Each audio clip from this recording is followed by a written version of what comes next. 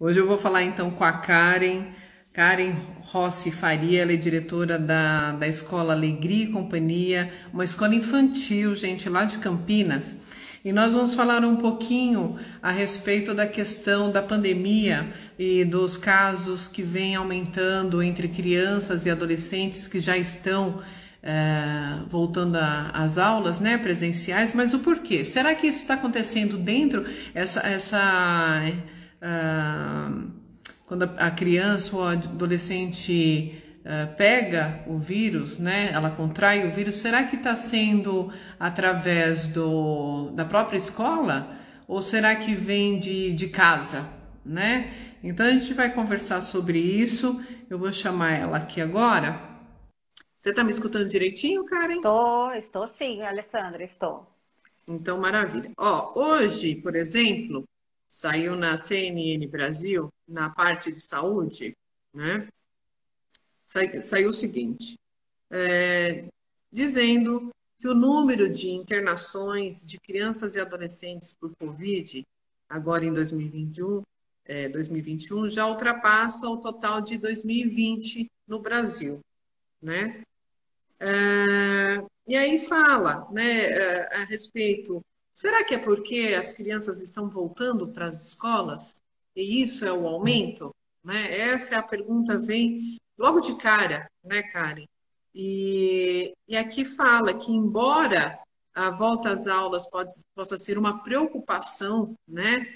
São os familiares que, que mais transmitem o coronavírus às crianças, né? principalmente durante reuniões e festividades que agora estão à tona, né? As, as festas estão voltando, as reuniões, o, o pessoal está sendo vacinado, então começa a, a, se sentir um pouco mais protegido, acaba achando que já pode fazer algumas coisinhas aí a mais, né? E aí fala-se também que depois de feriado sempre aumenta o número de casos de crianças com Covid, né? O que contribui para isso é que os pais se contaminam e levam os vírus para dentro de casa. Né? Então, aí, tá? É, é uma notícia, vou até mostrar para vocês aqui, né? Da CNN Brasil, da, de, da parte de saúde, do dia de hoje. Então, só veio a calhar, não é, Karen? Para a gente falar sobre esse assunto, né? Porque tem muitos pais, eu como mãe de dois, né, que ainda estão no colégio. O Henrique está terminando agora, terceiro do médio, e o Stefano está indo para o sexto ano, se Deus quiser. então, é, muitas mães ficam né, com esse medo de que de mandar o filho para a escola, de que o, o filho contraia na escola e leve para casa. Então, aqui a gente está vendo nessa matéria que é o contrário né, Karen? Então, uma boa noite para você. Vamos fazer um bate-papo bem gostoso, porque afinal de contas eu fiquei. Por que a nossa live?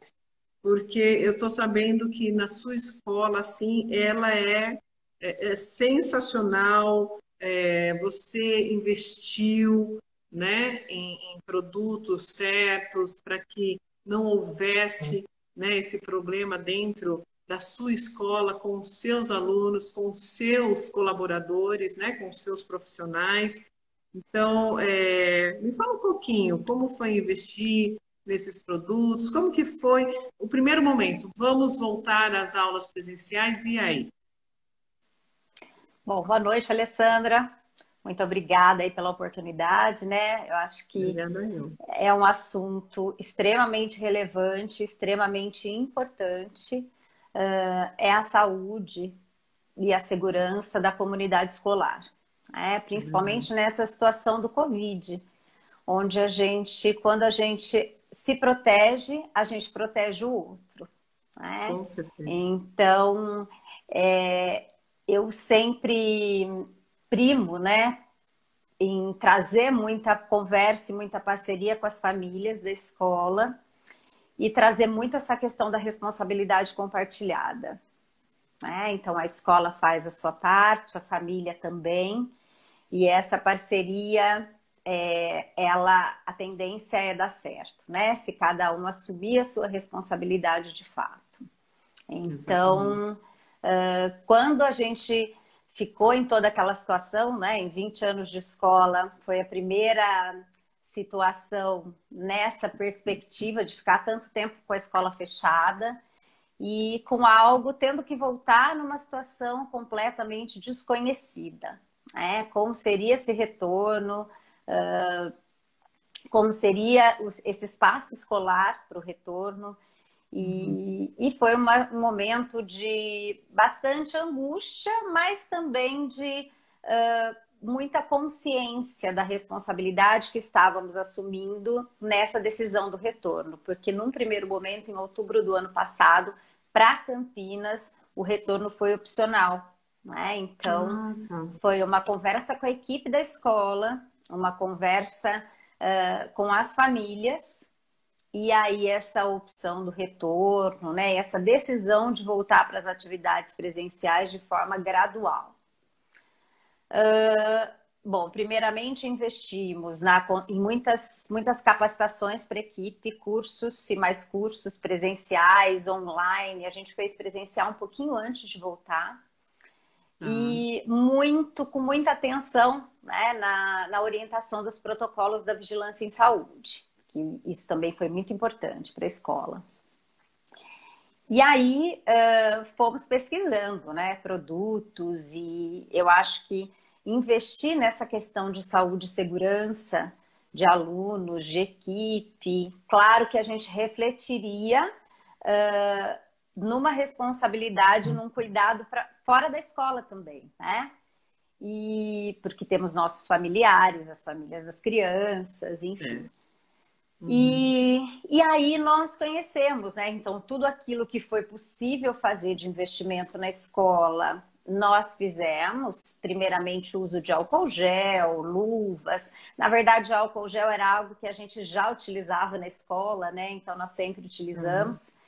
Uh, luvas para troca dos alunos e etc. Mas e aí isso ficou muito mais intenso nessa situação de retorno, né? Toda a sepsia da escola. E aí, conforme fomos conhecendo, conhecendo aí outros produtos, uh, como a máscara virucida, o, o material né, com nanotecnologia, o ICAGEM e o DGSAN, para fazer uso na equipe escolar e nos espaços da escola, a gente foi fazendo investimento. Claro que precisa investir, né? Não é barato.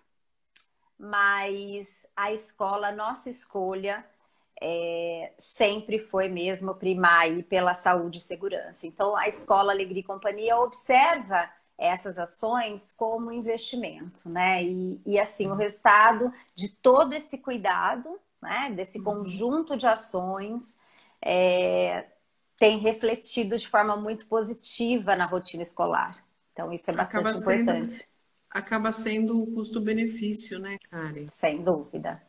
Porque é, você está você, você tá lidando com, com vidas, né?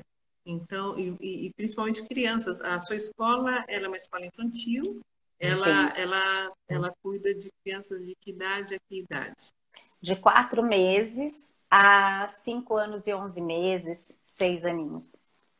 Ah, então, quer dizer, são pequenininhos que ainda não têm a menor, é, assim, condi não tem condições de, de mostrar o que está acontecendo, né? Você, lógico, você fala, ó, tem que limpar a mãozinha, passar, né, uh, produto na mão, vamos espirrar na roupa, vamos espirrar, né, por exemplo, o Degesan, né, que você pode espirrar na roupa, na, no, na mochila, enfim, nos sapatinhos, né? Mas eles ainda não têm essa essa responsabilidade, essa autonomia.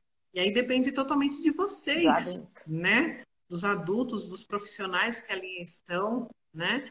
Então, é realmente o que você falou, e é isso, e a gente já sabe essa questão de você se cuidar para cuidar do próximo, você se proteger para proteger o próximo.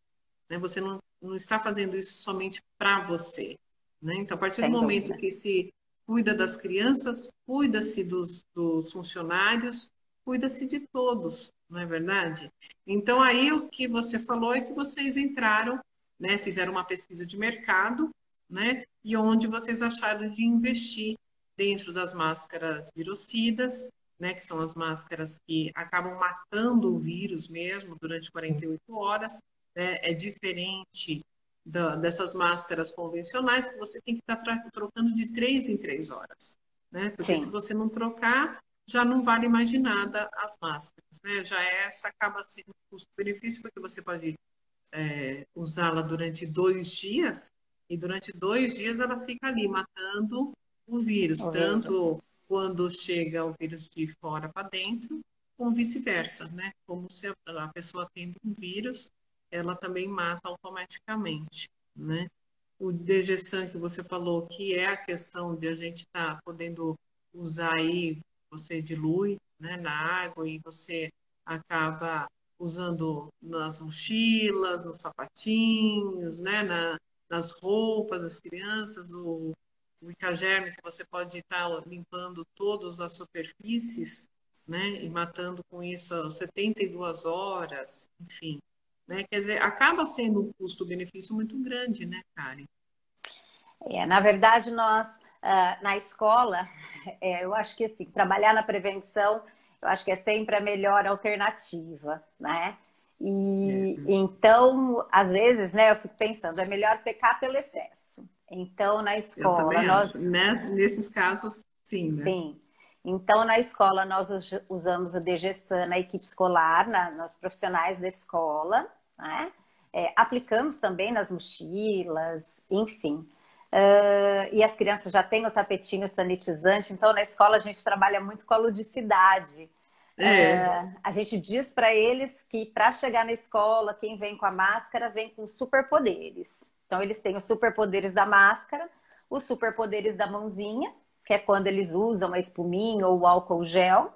Eles têm os superpoderes dos pés e o da testinha ou do pulso, que é a aferição da temperatura. Né? E, e, que a gente e o distanciamento também, né? Então a gente fala para eles que o distanciamento a gente deixa o bichinho do Covid, do coronavírus fraquinho. Todas as vezes que a gente chega perto ou que a gente desce um pouquinho a máscara, a gente está dando força para ele. A nossa missão é deixá-lo fraquinho.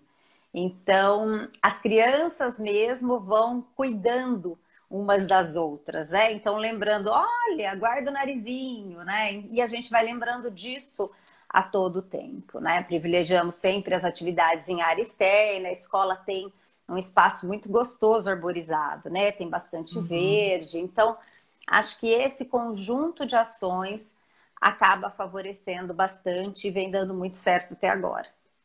Que e maravilha, aí... né? Que maravilha. Aí, Eu adorei equipe... essa parte lúdica, né? E a equipe escolar, a gente faz o uso, o uso da máscara virucida. A gente lá faz uma escolha que é usar duas máscaras, né? Então é isso. A equipe que fica com as crianças que ainda não usam máscara, usam também o face shield, tem o óculos de proteção. Então, uhum. é os aventais é. impermeáveis para troca, né? Então. E me fala uma coisa, com esse investimento que vocês fizeram, Karen, na escola infantil, é, já houve caso de Covid confirmado entre os funcionários ou entre as crianças? Nenhum funcionário positivo uhum. até hoje. E graças a Deus, né? Graças a Deus. E nós tivemos em junho é, na verdade, as crianças, quando ela tem sintoma, elas não podem ir para a escola, né? Certo. Porque os sintomas, eles se confundem muito, né? Com gripe, enfim. Nossa, total. É, às vezes uma rinite alérgica, esse tipo de situação. Então, é bem comum, né? Que as crianças, principalmente na mudança do tempo, acabem. Principalmente né? agora, né, Karen? Que tá esse tempo louco, né? De Exatamente. frio, chuva, calor, né? É. E, e aí, essa criança que nunca teve uma febrinha, né? Um menininho já maior, ele nunca teve uma febrinha e teve uma febrinha leve, 37 pouquinho. A mãe disse uma corizinha, enfim, e ela ligou para a pediatra, como ele nunca teve febre, não é comum, né? Então a pediatra solicitou o exame, ele fez, positivou no exame né? Ele tinha frequentado a escola, acho que um, dois, mas tem sintoma na escola. E aí uhum. positivou. Bom, fizemos todo o, o, protocolo, seguimos todo o protocolo de entrar em contato com a vigilância em saúde, recebemos todas as orientações, enfim. E aí comunicamos todas as famílias da escola, comunicamos os mais próximos, né? Os pais já fizeram a opção por fazer o teste, as crianças, nenhuma criança positivou. Nesse caso, os pais dele também não positivaram, né? E ele uhum. teve dois dias, na verdade, de sintoma muito leves, então ficou aquela dúvida, né? Em conversa com a, com a profissional da saúde, ela também ficou em dúvida. Ela, e aí, né? Pode ter sido também um falso positivo. Né? Mas, enfim, é, o fato é que ninguém positivou. Na escola, nós testamos toda a equipe, todo mundo no tempo certinho, não. Ninguém com sintoma, ninguém positivo. Né? Que maravilha. É, e, são essas precauções, né? É por isso que acontece de não, de não positivar, né, Karen? Porque você tendo todo esse, esse cuidado né, de proteção, de, e ao mesmo tempo você usar um produto que mata, ele vai continuar a matando por um bom tempo, uhum. né? é, é diferente do álcool em gel, que você passa, mata na hora, mas daqui a pouco, se você colocar por exemplo, a mão num lugar já num lugar que está contaminado, você se contamina, se contamina. É a mesma coisa a questão de toda hora estar tá mexendo na, na máscara, né? Você com uma máscara é, da Biotex, que é virocida, né? Você coloca a mão, automaticamente mata. Mata né? Então, quer dizer, é, são esses pequenos detalhes que acho que fazem grandes diferenças, né? Você está usando produtos que ele dá uma continuidade, uma, uma prolongação, né? De, de, de ação contra o vírus. E não somente do vírus Covid, que é lógico que é a nossa intenção falar aqui, porque com essa matéria que saiu hoje na CNN Brasil, dizendo que é, está tendo muito aumento uhum. né, de crianças e adolescentes internados por causa do Covid, já que é, menores, né, até principalmente as crianças que não tomaram ainda, os a adolescentes vacina. que ainda não tomaram a vacina, né? Então tem essa questão, será que é a escola que está trazendo para o meu filho? Não, né? Então a escola que tem todas essas prevenções, que faz todo esse tipo de prevenção, né, só vem a contribuir para a gente, né? Para os pais, para casa onde essas crianças vivem, né? E é uma questão dos pais também terem esse discernimento. É. Nos preocupa, né? Nos traz assim um pouco de apreensão quando a gente tem uma situação de feriado, né? Claro que é igual agora, houve, né?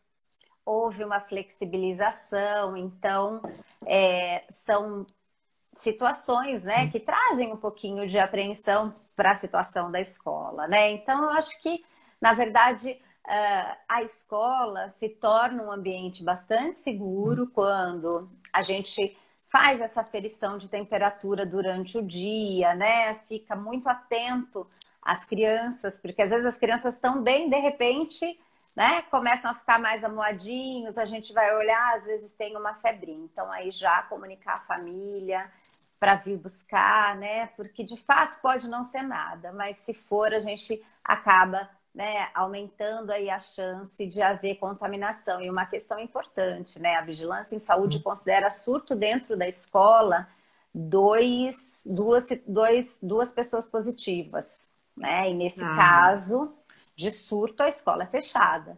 Né? Então, os protocolos uh, vêm sendo atualizados. Né? Nós tivemos uma última atualização agora em setembro. E é de extrema importância, né? Que as famílias também se atentem bastante a que a criança está com sintoma, e eu sei que é muito difícil isso, né, Alessandra? Porque as crianças pequenininhas, principalmente, que ficam na escola uh, na, no período integral ou meio período, porque principalmente a família que tem muita necessidade, os pais trabalham, a gente sabe que isso é extremamente é, delicado. É difícil, né? é verdade. Mas é, e se houver uma situação de surto com dois casos, a escola tem que fechar por 15 dias, né? Então, acho que é uma situação que vai refletir de forma né, negativa para todo mundo. É, de forma mais sentidos, intensa, né, né? Karen? Sem de dúvida. todos os sentidos, tanto para vocês, profissionais, como para os pais, como você falou mesmo, né, que depende da escola para os filhos, para os filhos estarem, para eles trabalharem, né? É, é, é, um todo, né? Acaba é, é um contexto. Um é. Sim. Mas a escola também a é, escola também faz a desinfecção todos os finais de semana. Então, nos ah, finais de semana, a gente faz a desinfecção com a pistola atomizada, enfim, né? E todos os produtos também antes da gente é, fazer a escolha, né? Da utilização dos produtos na escola.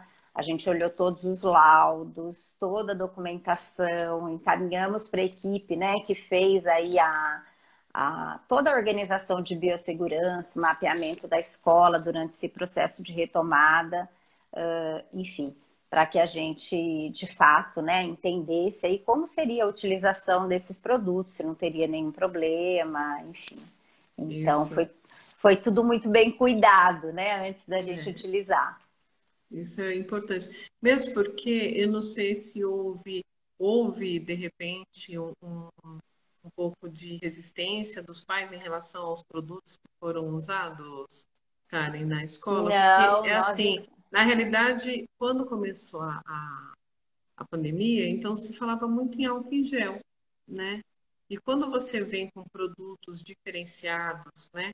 Que nada mais é que tecnologia, que é ciência, né? Como você falou, existe laudos comprovando, é Anvisa, né? Que garante, mas tem muitas pessoas que não acreditam. Ah, como assim? Eu vou, é, por exemplo, usar uma máscara que mata o vírus durante dois dias. Eu vou usar uma máscara é, é, que ela é, uh, como se diz? Acabei perdendo a, a palavra. Mas enfim, ela, ela, você tem que trocá-la, né? E você acaba usando uma máscara que poderia ser de três em três horas, não. É uma máscara uhum. que você vai usar dois, de dois em dois dias. Como assim? Né? De repente, um produto que você vai passar nas roupas, na, no, nos celulares, nos sapatos, nas mochilas, que acaba matando durante é, 72 horas, né? É, ou 12 horas, enfim, né? É, a questão também de estar tá, é, desinfetando né, com as pistolas. É, então, as pessoas acabam não acreditando muito nessa tecnologia. E, e existe. Né? É, aqui em casa, por exemplo, não entra mais álcool em gel. Né? Então, aqui tudo é a base das máscaras virocidas, né? Agora eu lembrei a palavra, gente. Descartável. Uhum. É que depois, é, uhum. depois que eu tive Covid, eu tive um problema sério de memória. Não é, não é desculpa, não, é verdade. Então, assim, é, então, aqui em casa, as máscaras são com virucidas, uh, Degessan e Cagerme, né? São produtos que a gente usa no nosso dia a dia. Até acho que você tem uma historinha da espuminha mágica, né? Porque agora tem o pump, né, da, do Degessan, então a gente faz a espuminha, tudo é, é, gostosa também, o cheirinho é bom. Me conta um pouquinho disso, cara. É, então, acho que como tudo dentro da, da escola, né, dentro de um espaço de educação infantil, quando a gente traz a ludicidade, a gente entra no mundo da criança. Né? É, é. então, é, é, a espuminha mágica, todo mundo ganhando a espuminha mágica para a gente receber superpoderes, né? E aí entra de novo a história dos superpoderes, né? Então, assim, o que, o que nós fizemos na escola? O DGSAN nós não usamos nas crianças, né? Mas a gente utiliza nas mochilas.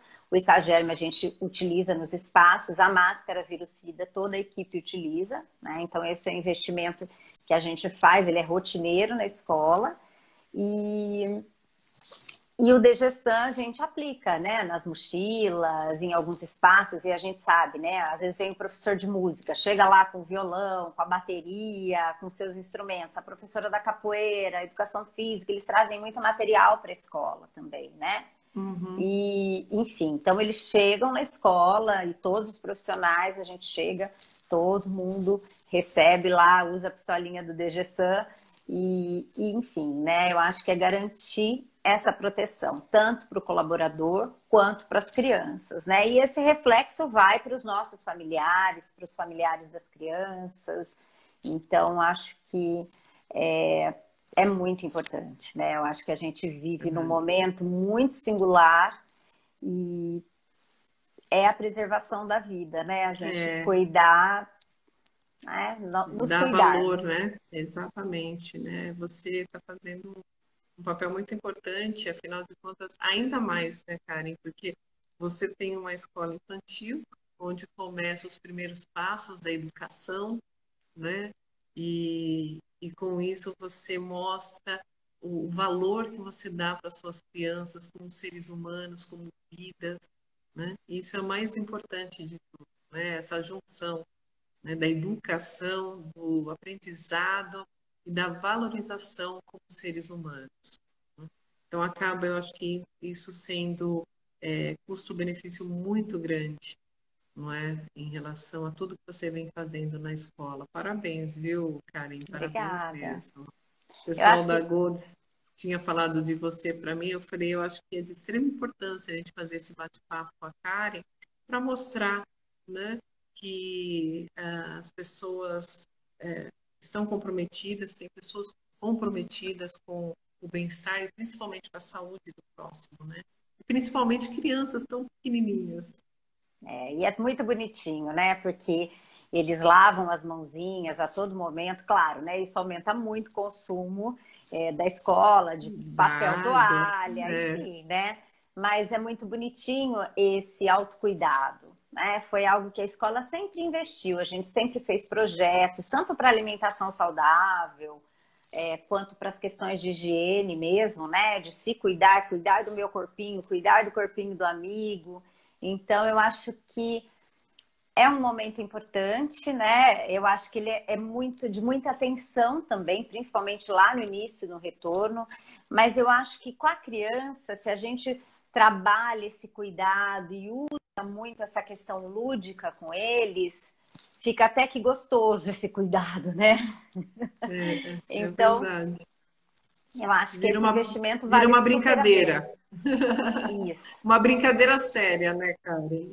É, tanto que numa ação do Dia dos Pais, a gente fez uma ação social com fotógrafo e aí foi o, a, a do Dia das Mães. E a mãe foi com o menininho, ele não queria tirar a máscara de jeito nenhum para não perder os poderes, nem para fazer a foto, né?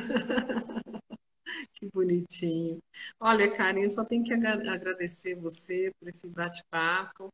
Né? Eu acho que, é, é como eu havia dito, é, é importante a gente trocar essa figurinha, né? essa questão aí, que ainda nós estamos nessa pandemia, graças a Deus diminuindo, mas ainda temos entre nós esse vírus, não é? E enquanto todos não estiverem imunizados, eu acho que ainda vale a pena a gente tomar é, esses, esses cuidados, né? Para que isso acabe cuidando de mim, cuidando de você, cuidando das, das crianças, cuidando de todos, né, à nossa volta. Isso é importante. E eu agradeço de coração, viu, a sua disponibilidade aí de bater esse papo comigo.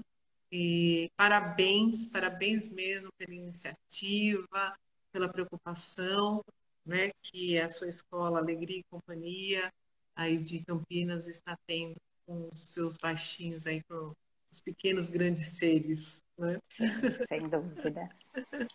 Eu agradeço então, também, viu, Alessandra? E eu sempre falo muito isso com a equipe da escola, né? Uma equipe muito parceira, uma equipe que é muito comprometida também com a segurança das crianças. E a gente costuma sempre conversar, né? O que é que a gente quer entregar para o mundo né? É verdade. Então, é o nosso fazer diário. E quando a gente também investe bastante nesses cuidados, as crianças estão observando, né, as nossas ações é. o tempo todo. Então, como, eu acho. E como observam, né? É, elas exatamente. Lá, elas têm uma anteninha aí super ligada. E aí a gente consegue compartilhar isso, né? E vai, vai, é para além da escola, né? É, é, é isso aí. Então, é isso aí. Eu agradeço também, viu? Muito obrigada. Imagina, Karen, obrigada mesmo, viu? Deus abençoe todos vocês. Amém. Continuem firme aí com esse propósito que é, eu acho muito louvável. Parabéns mesmo de coração. Obrigada. Eu agradeço também. Que Deus abençoe a todos nós. Acho que já vem Amém. abençoando muito também, né? Opa, é Graças verdade. a Deus, eu, os eu casos vêm diminuindo. Todos, graças a Deus. Eu falo que nesse, nesses dois anos aí, né? O ano passado e esse ano, que nós estamos passando por tudo isso, e eu sou prova viva disso. É, um, todos estamos, todos nós estamos sofrendo né? Uns mais, outros menos, mas todos nós Sim. estamos sofrendo. Então, por isso que é muito bom a gente fazer a nossa parte e respeitar não só a nossa vida, como a vida do próximo, não é? Sempre. Amei conversar com você, Karen. Um grande Também. beijo, viu? Manda um Obrigada, beijo para todos, viu? Um beijo para todos beijo. da escola também, tá bom? Obrigada, viu? Um prazer. O prazer é meu. Tchau, tchau. Tchau.